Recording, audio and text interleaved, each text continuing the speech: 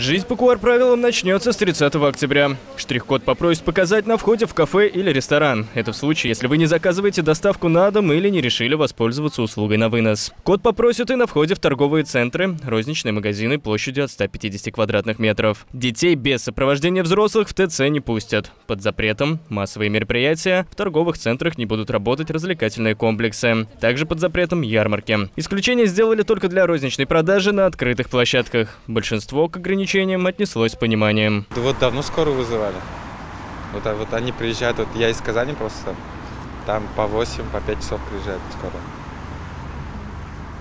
Так что нужно все закрыть, мне кажется, чтобы такого не было.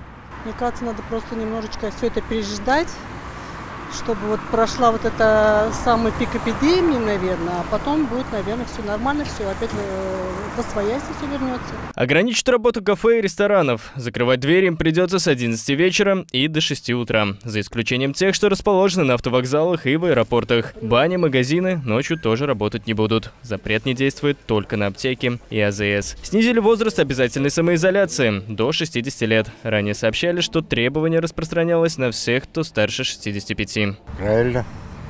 Обязательно надо. Самоизоляцию. А вы вот в маске, всегда в маске ходите? Всегда. А почему? А не хочу, хочу жить. Дома сидеть тоже скучно. Как бы охота шевелиться, где-то появляться, работать. К сожалению, сам не успел вакцинироваться. Все собираюсь. Ну вот, надеюсь, в эти дни получится.